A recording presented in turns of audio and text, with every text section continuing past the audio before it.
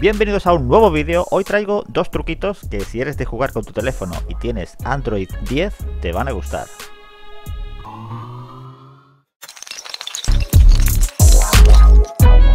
Estos consejos que voy a dar en este vídeo los he probado en varios teléfonos, no garantizo que estas opciones existan en todos los modelos con Android 10, pero si tienes un Xiaomi con MIUI 11 y Android 10, casi seguro que debe aparecerte.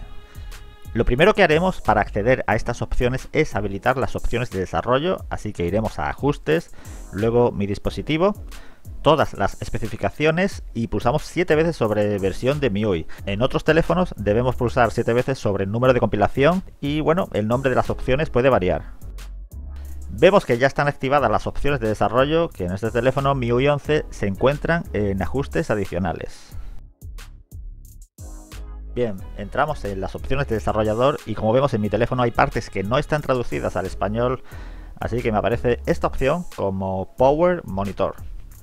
Al pulsar aquí tenemos dos opciones, una es frames por segundo, que me muestra la resolución de la pantalla, eh, los hercios, que son 60, y los frames por segundo, que como son a tiempo real, va oscilando constantemente en un máximo de 60 y un mínimo de 1 si nos quedamos quietos en una pantalla inmóvil.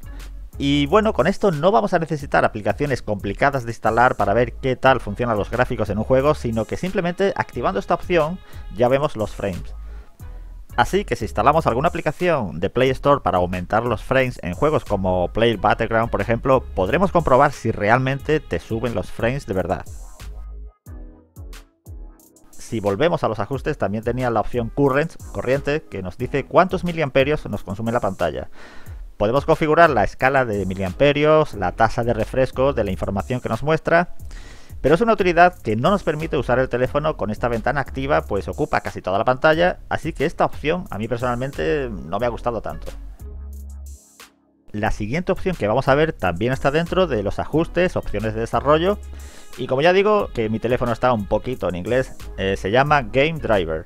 Y esta opción sí que la he visto en otros teléfonos como este OnePlus con Android 10, que este sí está al español al 100%. Y yo siempre en mis vídeos recomiendo usar la barra de búsqueda de ajustes y poner un término, por ejemplo en este caso juego, y te envía directamente a las opciones que estamos buscando. Y bien, ¿qué podemos conseguir con esta opción? Bueno, pues como veis nos permite cambiar el driver de la GPU de los gráficos de un juego. Esto está bien si tienes un teléfono que no corre bien algún juego, que va lagueado, con retardo, pues desde aquí puedes cambiar el driver y ver qué tal te funciona.